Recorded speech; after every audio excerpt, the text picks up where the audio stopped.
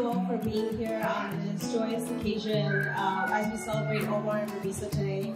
ये प्यारी सी रातें रातों के सपने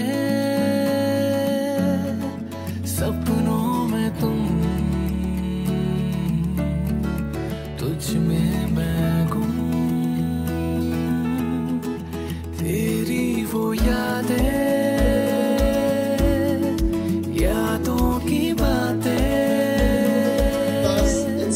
relationship growing up. Omar became my little brother, and I became his older brother. But it wasn't always that way, though. Growing up, this guy would do nothing but annoy all his older cousins.